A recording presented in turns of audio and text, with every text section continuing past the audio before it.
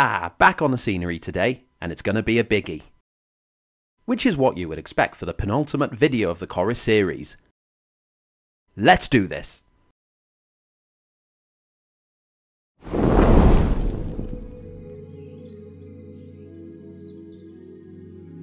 Hi guys. So we have reached the station end of the layout, and there's quite a bit to go on here. The station and the platform area, the railways up on a retaining wall and loads of scenery around the edge. In fact, with the final episode focusing on the slate quarry area to the right of here, this is actually the last chance to do some real scenery work, which is lucky now as I've ran out of Noch leaves. The first job, as you're probably expecting by now, is to alter the layout's edge to match the terrain. The material I've used for this is called Foamex, and it's used to produce signs for shops and the like. What I like about it is that it's soft enough to cut with a knife, which is really handy. I don't really have a particular shape in mind here, I'm just cutting off enough to form the landscape into a steep bank leading down from the railway. With the Foamex at a good enough height, I set to work maiming the foam. The weapon of choice is the old kitchen knife. I say old, I think it was quite new before I robbed it for this job. The technique I've developed while doing this is to have the knife leaning on the Foamex edge. This way the foam will join at the correct level. I'm also cutting down from the platform edge, and this will soon have a wall built for it. It's not a bad idea to cut off small parts at a time, instead of going full guns blazing. Remember, this is 176 scale, so accidentally cutting off an extra 15mm of foam would be over a metre in real life. The foam is looking much better now, but there's that big gap between the landscape and the Foamex edging, so I'll fill this as much as I can with scrap foam offcuts. The foam's quite flexible in thinner pieces so it's easy to fill most of the gap up, and it's recycling waste, and it's keeping the layout lightweight. When you think about it, it's a brilliant idea. The gap can now be smoothed off and blended with the rest of the bank. I use a standard mix your own filler from the local DIY because it's cheaper. This is mixed to a thick consistency and has a few drops of brown paint added to tone it down. You can buy lightweight modelling filler but it's really expensive, so I won't. With the gap filled in, and apply a thin coat over the whole bank. This not only tones down the yellow foam, but it gives a good solid base to apply the scenery onto later. This is the Wills slate walling sheet. I'm going to hold it in place and mark platform level on the back of the sheet. And because the platform will have a short wall around the outside, I add a second line and cut at that one. At this point you may have noticed my injured hand. Don't worry, this was iron related, not modelling related. I'm not an idiot, I do know how to iron safely. It fell on me. This first piece of wall can now be slightly bent to shape. Pre-bending a sheet will help minimise the strain when it's glued into place on the layout. I decided it might be useful to cut a slit into the filler for the wall to sit into. Not sure how that'll turn out. The next piece is ready to be cut, and this one will feature the edge of the platform wall.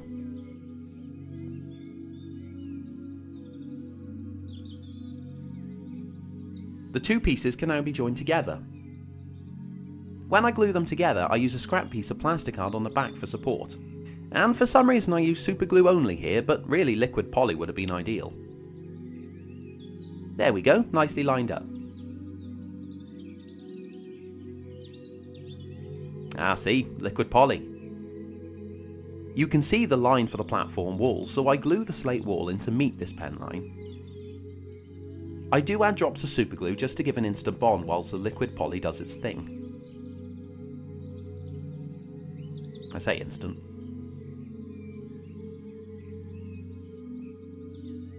Now the glue's set, you can see that the rear pieces need to be trimmed to shape.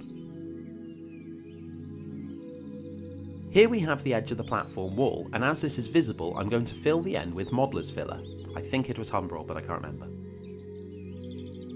And this will act to blend the two pieces together, disguising the gap. And when it's dry, I use a knife to cut slits into the end to join the slates together. This will hopefully make them look like single pieces, front and back.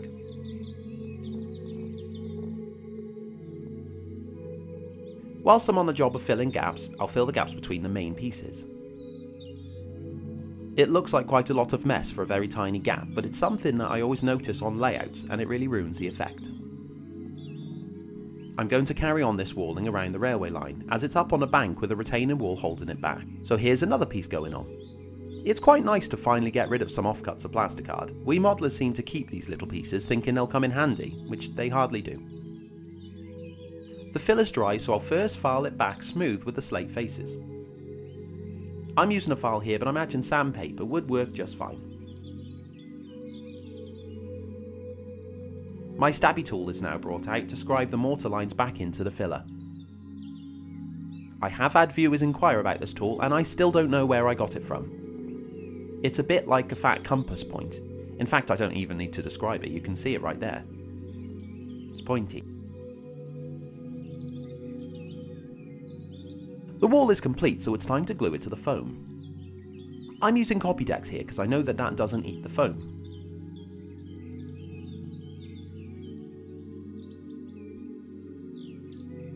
So I apply it to the wall and push it into place.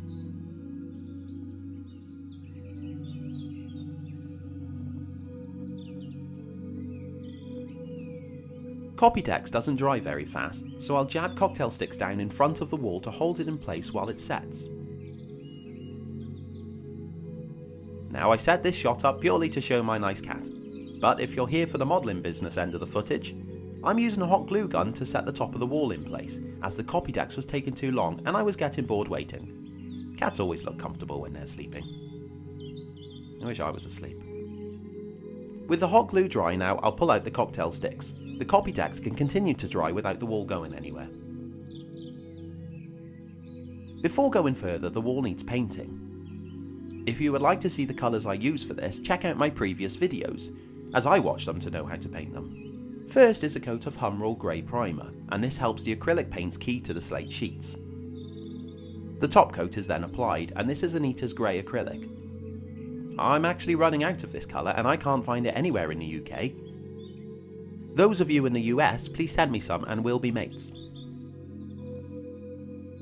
The individual slates are now picked out with some DecoArt slate. Pick these out at random and I try not to think too much about it, as I'll end up with an organised pattern. After all that faff with the filler you can still see the join in the wall in so I'll grow something up that later.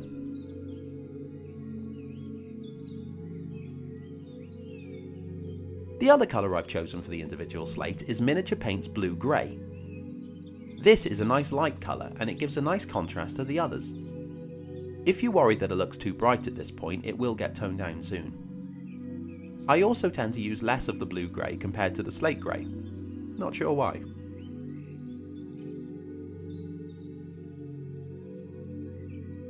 The whole wall is now dry brushed with light antique white. It may look like I'm brushing up and down, but I'm only actually hitting the wall on the downstrokes, and this helps highlight the slates from above.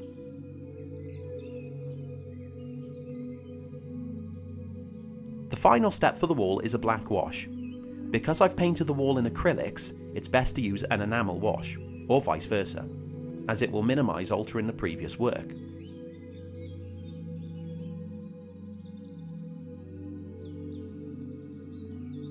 It's finally time for the station built-in to get glued onto the layout. I used decks Again. And this will just help hold it in place.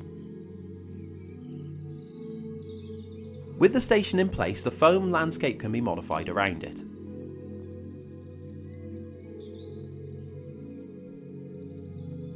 Filler is also applied to fill in the gap below the station, where I took too much foam away before.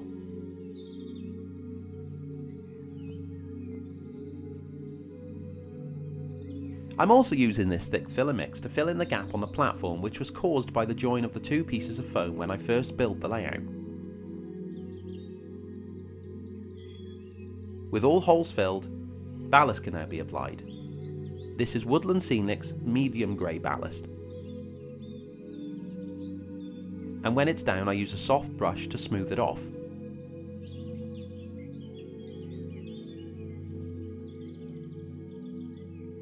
Though this looks too uniform for the railway itself, so I've brought in the ballast slash dirt mix that I made for the rest of the line.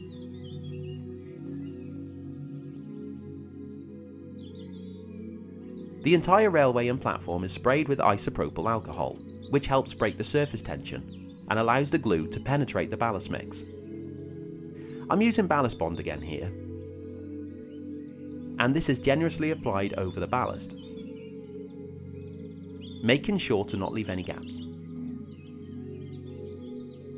You can see how generous I am with the glue. I'm very generous.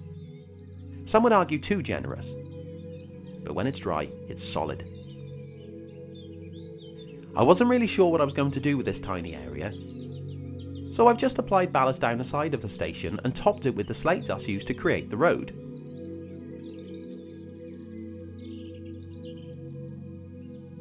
And this is soaked in ballast bond as well.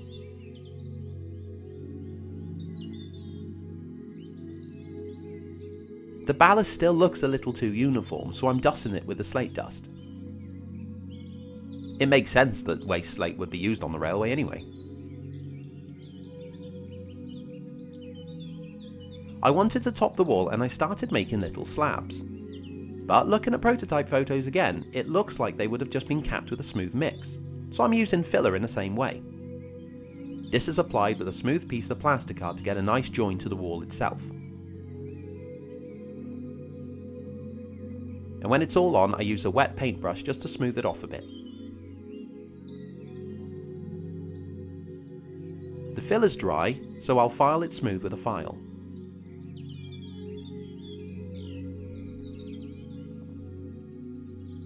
The topper can now be toned down a bit with an off-white. This is Stone Golem by Army Painters and it has a slightly yellow tint, which I like.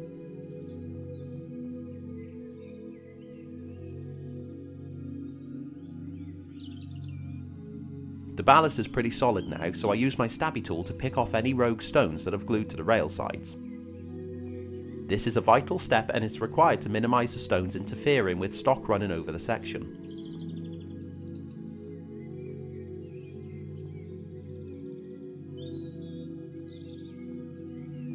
At this point I'm still not happy with the ballast in this area, so even more slate dust is brushed on. It looks better now.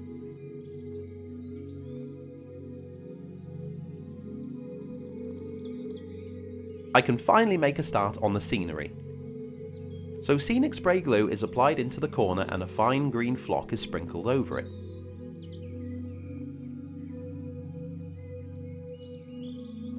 This is also added to the opposite side of the track. A bit more glue is applied once again and the polyfibre is popped down. This will form the base of shrubbery. Noch dark green leaf material is sprinkled over the polyfibre. And finally the light green leaf material goes on as well.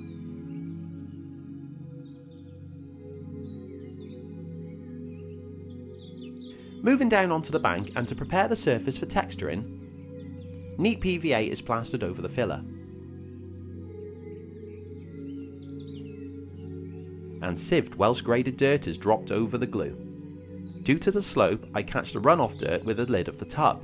That way it can not only be used again, but it stops it getting into my hamster's tiny lungs, who's rolling around in a ball on the floor.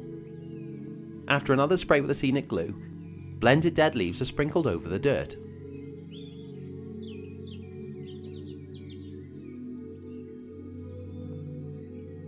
Didn't really want to make any more woodland area, so I've opted to go for an overgrown shrubbery look. The type that would be difficult and slightly annoying to walk through. To do this, I went full on with the polyfibre. But whilst it's covering the entire area, it is all small separate pieces to give the illusion of separate plants. This all gets sprayed with the scenic glue and the Noch leaf material sprinkled on. And yes, this is the area that used up the last of my Noch leaves. This was applied in the same way as small shrubbery, with dark leaves first and a lighter dose on top. Before going any further, I wanted to check that the track's running well, so the track rubber is run over the line, and the train run. I didn't film it, but just assumed that it worked. I wanted to weather the line where the locomotive would sit at the station, so matte black acrylic is sprayed through the airbrush onto the line. It's very easy to overdo this, and I probably did, because I continued over the crossing as well, but there we go.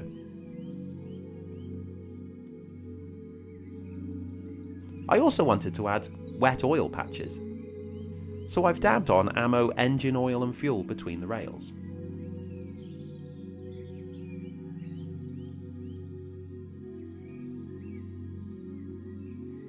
This is also added on the far end of the platform, as the train would have stopped on both directions to drop quarrymen off. I've made some trees for the area, though this video is long enough, so if you want to see me make them, you can check out my other videos. The stabby tool is now used to pop a hole in the bank. And with a drop of PVA on the tree, they are planted.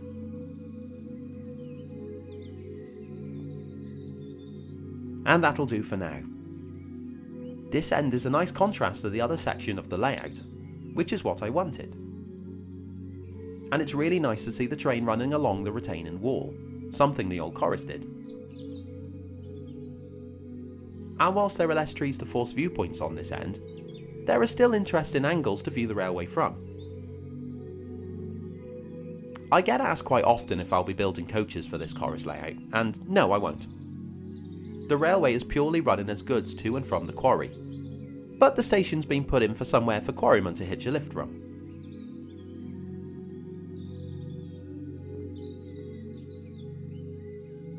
Look, me and your mum have had a chat and we really think it would lift your mood by watching these videos. Cheers.